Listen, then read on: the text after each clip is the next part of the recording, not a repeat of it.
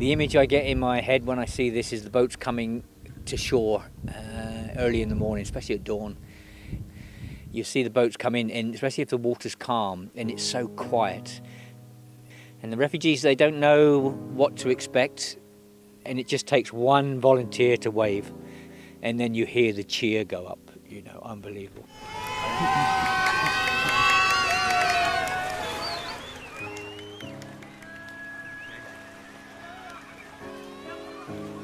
It easy, bring the boat in. They're doing selfies already, these are Syrians. Oh, boy. come on little one. oh. Come on, take it easy, take it easy. the two little ones. Okay.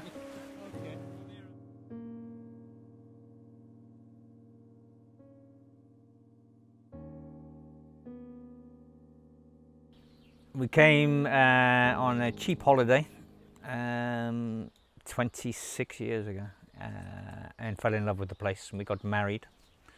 And then when our daughter was born, we decided we would come and try and make a life to bring our daughter up here. I think in the, you know, these days it's really difficult to, to have time to be a family. So, like in the UK, you're both working, your kids are with strangers from when they're tiny, and we wanted to actually be parents. We wanted to spend time with our daughter while she was growing up because those years are so fast and so precious that, and, and this seemed the ideal place. And then things changed a little bit in 2015.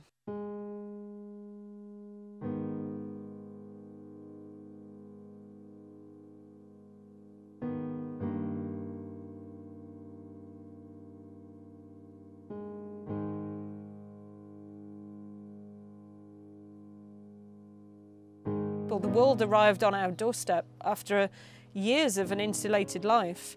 This started for us, you know, we're taking our, our daughter to school at sort of 6.30 in the morning because she had a, a big commute to school. And we're driving to the end of that road and there's women and kids on the beach. And suddenly we've got Syrians and Iraqis, Afghans, all fleeing war, all with their own story, all different religions. Um, and you cannot, as a human, drive past people in need like that. You just can't do it. So we stopped and we started to help, and we haven't got much. So we were giving them our clothes, my daughter's clothes, whatever food that we could get together. Um, and it started from what was a few boats a week to a few boats a day to 10 boats a day. And in October, at the maximum we had was 200 and we, we actually watched people drown with no way of helping because there's no rescue boats here. There's one Coast Guard boat in Molivos with one crew that was then by sort of May was working 12 hours shifts just picking up people and they couldn't cope and nobody came.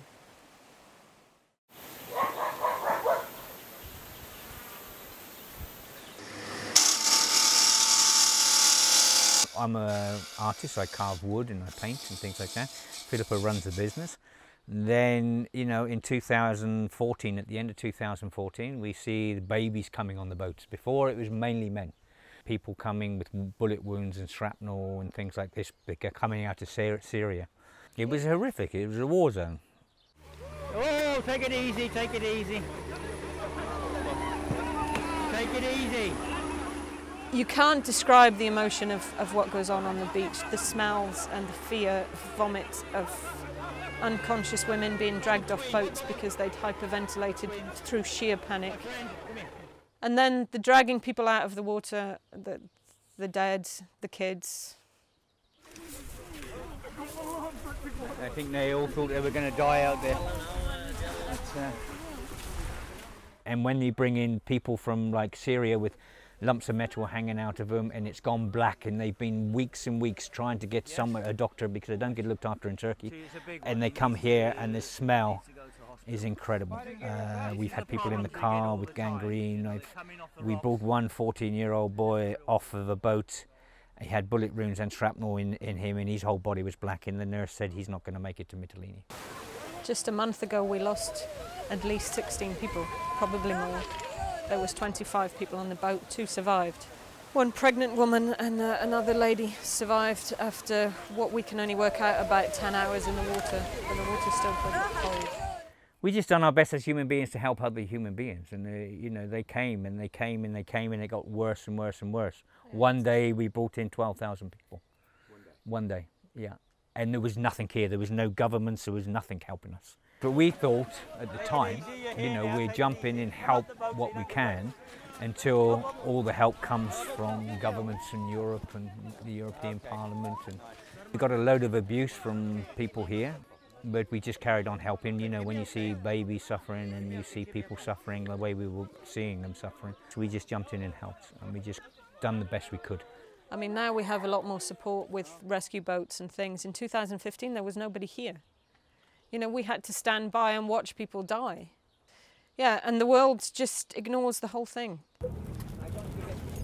So we're just pulling up because we've had some other volunteers intimidated out by one of the locals. this has been made from somebody who is not paid closest So it's not your land? out So why Excuse does me. the police want to know who's threatening people? one moment Go and get the police. We, we Uh, The, our local town, they don't accept refugees. They've actually put it on social media. They don't want refugees, and they won't accept refugees.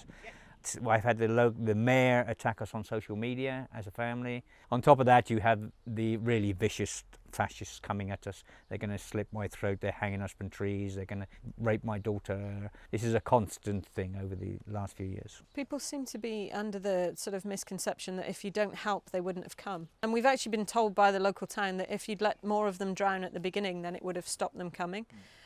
But they, they, they actually hold us personally responsible for the entire 2015 refugee crisis. want refugees here You- you, you want don't- refugees No, I don't want refugees. but I Oh. don't want the bodies on the beaches either. So that's why we help to oh, stop the bodies no, on the beaches. me sorry Listen, me. listen, listen, go to Abastoli, England and and stay in and- England and- and then in your land You, don't you, like you to have, have boats you, out of my land you have, out This is your land. out Right. of my land It, it's bizarre that rescuing people can be taken as encouraging them, and they were coming anyway. They, they, you know, all we did was try and save lives and try and make these people's lives a little bit more tolerable. 99% of the people on the island have been absolutely fantastic. One village just 12 kilometres the other way has been nominated for two Nobel Peace Prizes. It's just this very few, which you'll get anywhere in the world, the rich people controlling a town, and this is where the hate comes from. You have to learn the language and tell them not to leave the things inside. Who's going to pick all these fucking things up? It's nice what you do, but who's going to do this? The bombs are faulting them. It's not just coming in here, they're coming in even at the airport. All down by the airport, even more people coming in, and no Why one don't helps. send them in to meet direct to Mytilene? This is not my problem. My problem is the children and the babies. And people say, why are they running? What would it take for us to, to run? The neighbour's kids get shots, you know, there's a car bomb down the road. At what point did you decide you can't continue? And a lot of these people sat out the, the, the sort of first four years of the war. And people don't realise the quality of life they have. They think all, all Muslims are sort of tent living kind of dwellers of the desert. These are uh, exceptionally educated, middle class, college uh, graduates, engineers, uh, doctors, pharmacists, surgeons. We had a brain surgeon come through on a boat. Everybody is suddenly in the same boat, literally. lady one day uh, rings a bell and she said, I need a hotel and I need a shower. And I said, sorry lady, you're not allowed a hotel shower. You know, you, you have to live on the floor tonight. Maybe never done it in her life. And she said, I'll buy the hotel. I said, you can't do that either.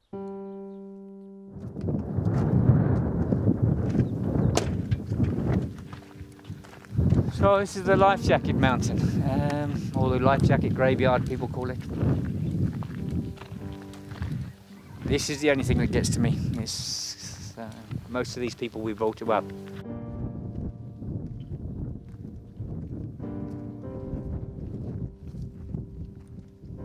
Out of everything that I've seen and done out here, this when I first came here, this is the one that got to me uh, because most of these people we brought in, and when I stand even now and look at this, you know, it it gets to me.